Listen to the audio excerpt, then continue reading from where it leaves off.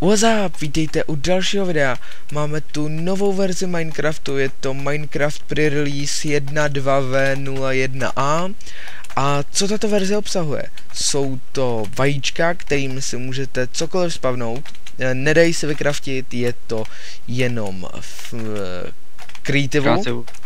A máme tu i čes, český překlad hry a i do více jazyků než do češtiny a je to už oficiální, takže se nemusíte stahovat žádný mod, ale ten překlad se mi sice moc nelíbí, takže budu stejně používat angličtinu, ale to nevadí. Nelíbí se mi třeba jako silverfish, jako, je pře, jako ryběnka, to se mi fakt nelíbí, ale to nevadí. Ale co je novýho je, že si můžete nastavit do generování světa Superflat, to je prostě placatá mapa, která je už od začátku generovaná, takže nemusíte vkládat žádnou jinou mapu, prostě si jenom nastavíte generování a máte to. Uh, takže si předvedeme to spavnování.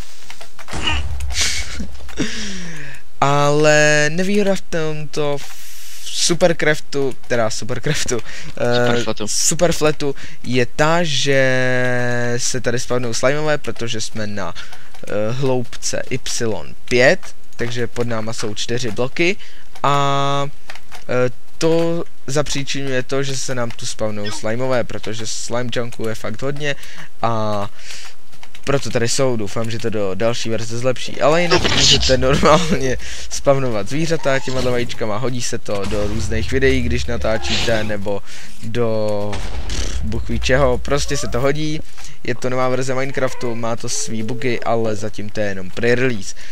A to je z tohohle z toho videa všechno, i z tohohle z toho Minecraftu. Uh, určitě se brzy dočkáme dalšího pre-releaseu, kde budou zase nějaký bugfixy a možná nové věci a já se budu těšit u dalšího videa, takže čau.